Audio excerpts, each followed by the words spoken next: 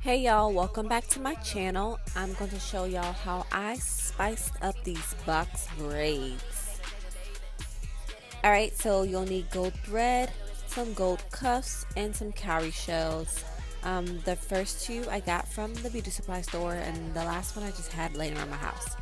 So this lady sold me this headband, which she proceeded to tell me was gold thread, but it's okay because we're just going to cut it up and pretend that it actually is thread.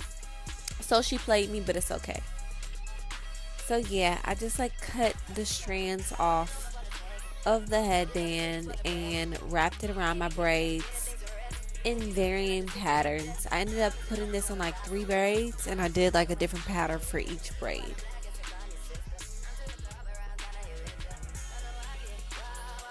And if you're not already following me on Instagram, Snapchat, and Twitter, what are you doing with your life? Go ahead and follow me at J Chanel. So yeah, after I was finished wrapping that, I just tied it at the end.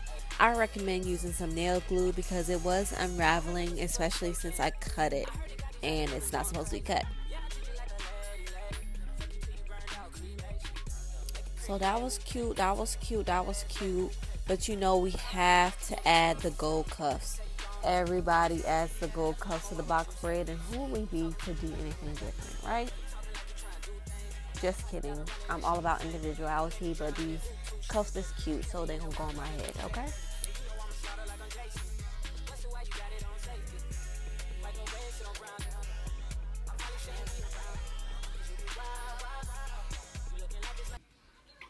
My sister. You like my hair, Mackenzie?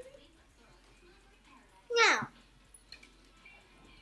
She's got her hair done, y'all. She cute or whatever.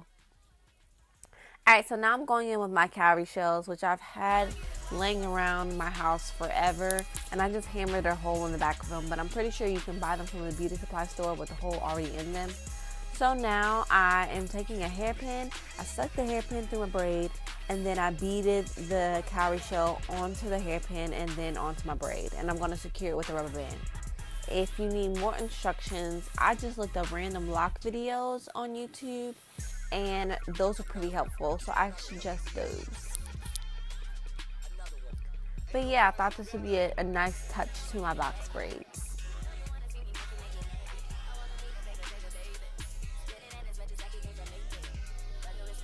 So yeah, that's it y'all. That's how I spiced up these box braids.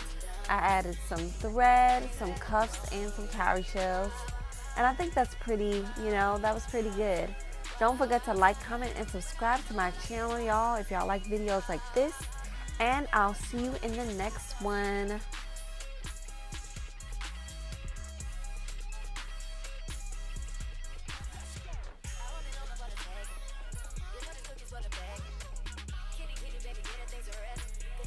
Do not forget to subscribe to my channel and check out my latest video.